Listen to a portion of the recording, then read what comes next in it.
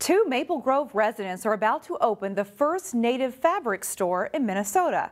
Fire Mountain Fabrics is located in Brooklyn Park, and as Sonia Goins shows us, the store features more than just materials. It also features culture and tradition. Kind of surreal.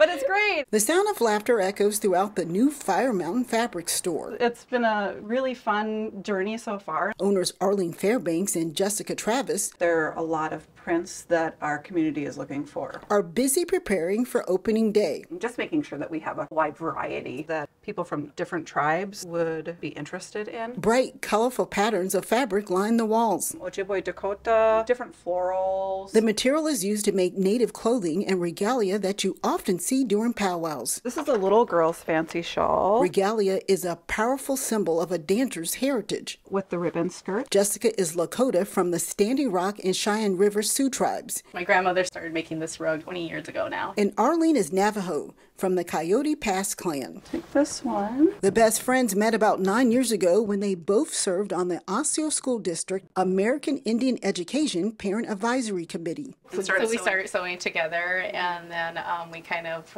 did that whole. She she started with her daughter's fancy shawl outfit. This summer, Arlene's world was turned upside down. She was diagnosed with an aggressive form of ovarian cancer, and Jessica held her hand during treatments. With her cancer journey, realizing that there's no better day than today um, to actually like live the dream. They started researching, eventually launching an online business, partnering with vendors who specialize in native fabrics. We just have had great feedback from it, and so we're like, all right, we, we can do this. Let's let's roll with it. Soon afterward, they set up a brick and mortar store where the entrepreneurs also sew custom items and sell kits so people can make their own regalia. We have ribbon skirts that we make just for kids. Jessica and Arlene say they are focused on giving back to the community and sharing their rich heritage. Being able to offer fabrics that aren't available anywhere. I mean, that's a pretty cool thing to be mm. able to, to do. In Brooklyn Park, Sonia Goins, CCX News. Fire Mountain Fabrics is scheduled to open on February 11th.